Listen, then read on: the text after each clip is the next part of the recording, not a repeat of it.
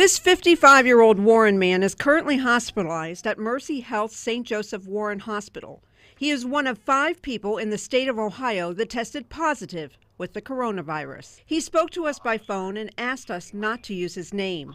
He started feeling ill last week and went to the hospital a few days ago. I came in here Sunday. They said, You got pneumonia. Have you been to China? No. Anybody you know been to China? No. I've been to China in 10 years. Trumbull County officials, including Warren's mayor Doug Franklin, held a news conference Thursday and reminded people to stay home if they are sick. We're just focused on working with all of our partners.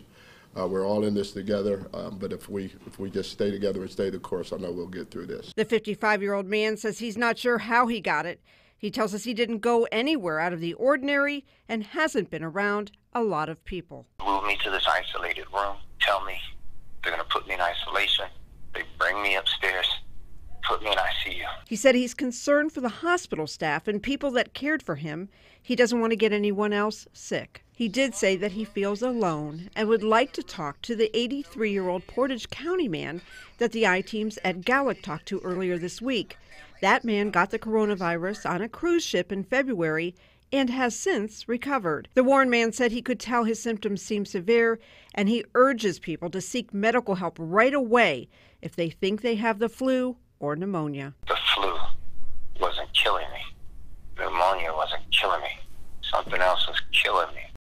Now, I just talked to that Warren man again. He says he got another x ray this afternoon and he's told he is slightly better, which is great news. We certainly hope he gets better very We soon. wish him